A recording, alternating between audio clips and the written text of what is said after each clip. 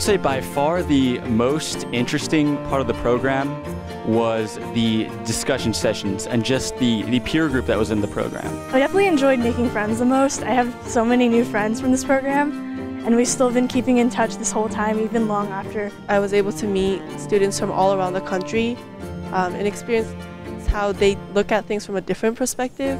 You know, people will have entirely different opinions on a single issue that you pretty much thought was resolved. Seeing how that played into how we were analyzing Japanese events in history, I thought was quite fascinating.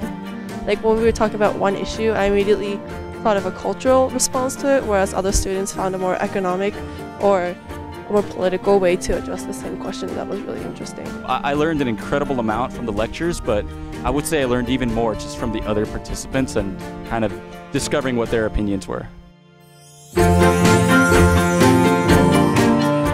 I would be aware that there is a considerable amount of work. It does say on the website that there's about four to six hours of work um, weekly. I ended up putting in about closer to six to eight hours. I was putting in more about eight. And I think that was the best way for me to really absorb everything that the course had to offer.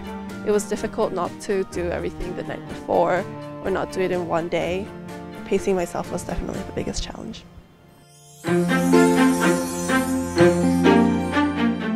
I liked learning online because I was able to monitor myself, um, really think about what I wanted to say before, because I didn't have to worry about other people noticing my body language or other subtle things. The only downside is that there were some glitches occasionally in the Adobe platform, but that's just, we accepted it and we moved past it, so it was, it was still good.